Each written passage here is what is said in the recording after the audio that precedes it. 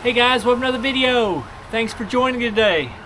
Today I'm going to do an update, uh, a long-term review, if you will, on the Topo Specter. I've got about 275 miles in these, so um, I've had good good uh, use out of them. Uh, I just ran 50 miles in them this past weekend at the Perpetual Motion 24-hour race.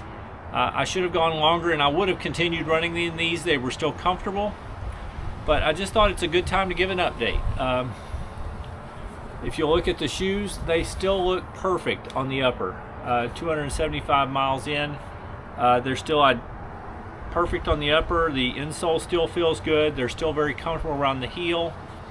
Uh, these do have the 35 millimeters stack height in the heel and 30 in the forefoot, so they have a 5 millimeter drop. They do have the uh, it's the ZipFoam EVA frame. It's their older ZipFoam that's a little firm. So, so these shoes do feel a little bit firm even though they've got a lot of cushion.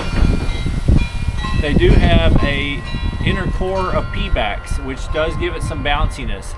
Uh, you don't always feel feel the bounciness. Uh, I do some, but it is a fairly firm ride. But I just find them extremely comfortable, and they're very rockered, so you feel like you're moving a little quicker in them. So these I would I, I use them for long runs and long run up tempo type of runs. So the 50 mile race was perfect for them this past weekend. Um, the one negative I would say is that you could they could probably have a little bit more Pebax in them to, to feel the bounciness a little bit more. And uh, my understanding is in the Specter 2s that'll be coming out this in 2024 August, uh, they're actually going to be full Pebax, so they'll be a lot bouncier. Uh, we'll just see if they're stable enough at that point. But uh, and the other complaint is that the outsole rubber is a bit thin, uh, and you can see I've pretty well worn through it. Um, it's better on this shoe, but I've, I've really damaged it. Uh, so that's that's kind of the limiting factor that's going to probably cause me to retire these shoes before too long. I'm actually finding right now they're still real comfortable even with this little thin bit of rubber gone. I haven't gone into the midsole too much. And uh, I'll apply some shoe goo and I will definitely get uh, a few, a bit more mileage out of these. But uh, that, that would be the one thing. And as I understand the new Specter 2s, when they come out, they are going to make the rubber a little thicker. So that should help with the durability.